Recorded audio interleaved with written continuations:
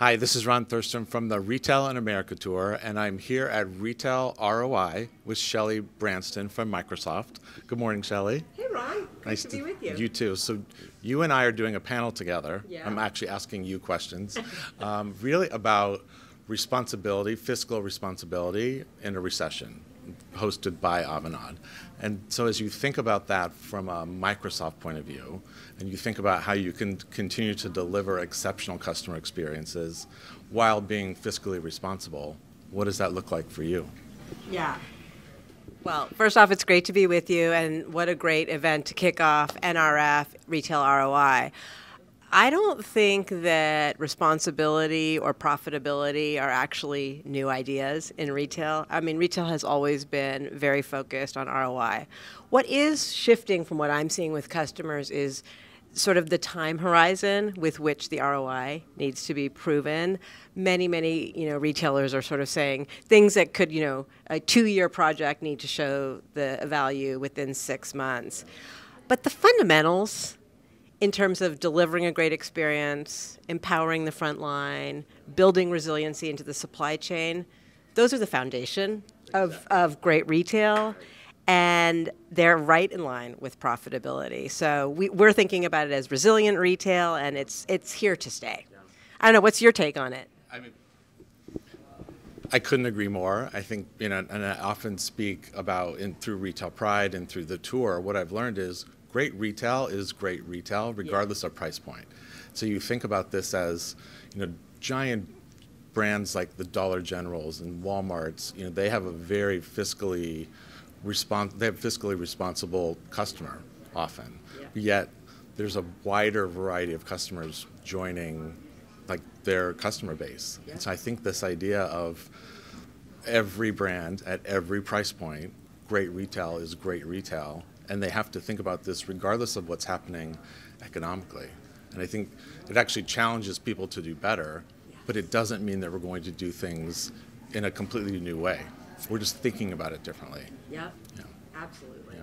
So, Shelley, something that's really on my mind mm-hmm. is this idea of how do retail leaders continue to be that mindset of also being fiscally responsible because their workload is bigger than ever. They've had they have more things to do. They have more tasks to accomplish potentially. So, what's your point of view through Microsoft? Yeah. Um, well, you know, leadership and leadership principles um, have always been sort of core to how uh, the DNA of Microsoft, um, and we think about you know clarity, focus, and results. And um, underneath all that is sort of this idea of having a growth mindset, um, which for me is really appealing because it, it, it talks about sort of being a learn it all versus a know it all. And I think that's so important, um, not just in a tech company, but of course in the retail context. And you talk, well, you talk a little bit because you talk about focus and curiosity. Maybe you could talk about that. And there's a third. I'd love to, yeah, and, and, empathy. and, empathy. So you know, when I think about growth mindset, the idea of empathy yeah. is so true. Yeah. Because if I really think, how are the people around me experiencing? the world, experiencing business, experiencing my brand, I have to be even more empathetic mm-hmm. and think even more with a growth mindset. Like, how does that evolve? And so I think your pillars around you know, delivering results you know, align very closely to retail pride. Yeah, great. Absolutely. Thank you. So, Shelley, I've been on tour around the country for a year interviewing retailers and leaders and founders and managers and I have my own kind of ideas about trends for 2023, but I'd love to hear your point of view. Sure. Well, I mean, I think the good news is that the trends have not changed dramatically. There's a lot of buzz in the industry right now, and broadly about ChatGPT. Um, and certainly coming right before ChatGPT, people were talking a lot about the metaverse um, and the different components of the metaverse. But I think the, the if you actually peel back some of the things that are at this point, still, people are still getting their heads around.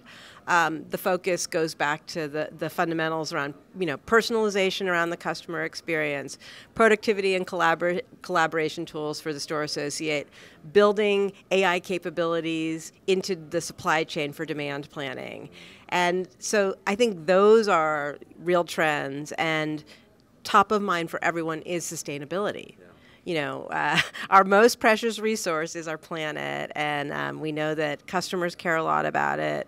And so, uh, certainly, a, a, ripe conversation with many of the customers I talk to. How about you? What are you seeing? Thank you. You know, it's interesting you bring that up because you know, my perception of, of sustainability now, as someone who lives outdoors, yeah. is very different. And I do think, you know, when you're in national parks and you really think about our responsibility to protect the earth, as spending my entire career in fashion retail, it really hits you. It really like what what impact have I done as a leader, as a consumer to change that? What's my impact on the earth? And it really feels different when you're when you live um, um, among the plants or the beach or wherever I happen to be. Um, but you know, trends, I agree with you. We have to continue to provide resources and tools and education and career advancement and all the things that are important to people in stores. That can't stop um, because the pressures of delivering the results certainly don't diminish, but we need great people in retail. Every day, you said it this morning, you know, this is a people business, and that has never been more true. Right. Even with metaverse, even with you know everything happening, will always be a people business. I couldn't agree more. Those. Uh, the tools and the, capa- the tools and capabilities from companies like ours, the thought leadership from people like you, is in service to the people of retail who, who, who look customers in the whites of their eyes every single day. Every day. Every day. Thank you, Shelley, for spending some time with me today. I really appreciate it. This is Ron Thurston from the Retail in America Tour, and I will see you on the road.